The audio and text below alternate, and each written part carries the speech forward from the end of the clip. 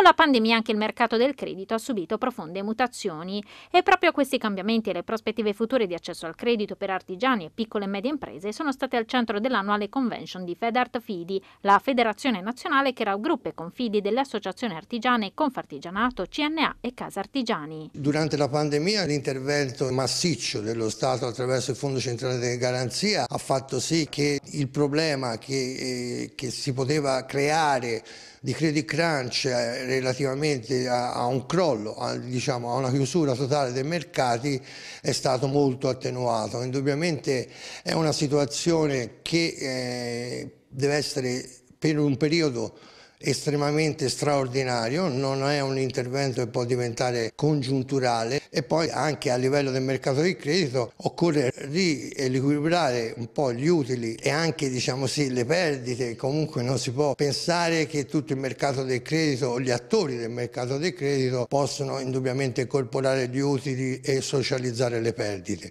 Quindi la visione, lo sguardo appunto è stato quello, lo sguardo alle imprese, le imprese sono i soci dei, dei, dei confidi, a livello di federazione si contano più di 600.000 aziende soci. Da qui la richiesta di Federt Fidi di tracciare insieme alle istituzioni le direzioni di una riforma normativa che fornisca al sistema dei confidi un vero riconoscimento legislativo. Deve continuare un intervento massiccio sia della garanzia pubblica ma anche quella privata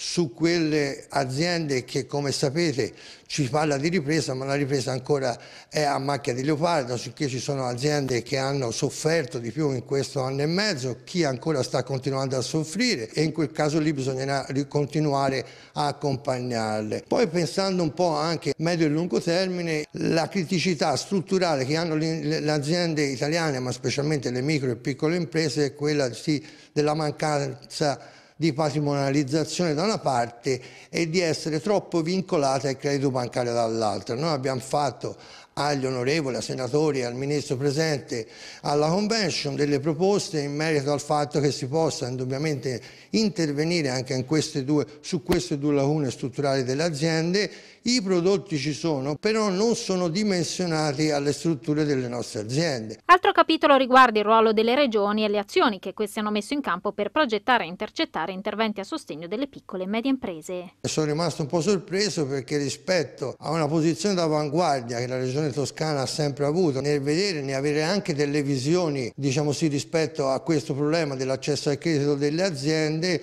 l'ultimo anno e mezzo bisogna dire la verità e questo problema è uscito proprio dall'agenda di politica della regione, quindi mi aspetto indubbiamente che con l'inizio del 2022 il tutto venga riacceso e la nostra regione ritorni all'avanguardia.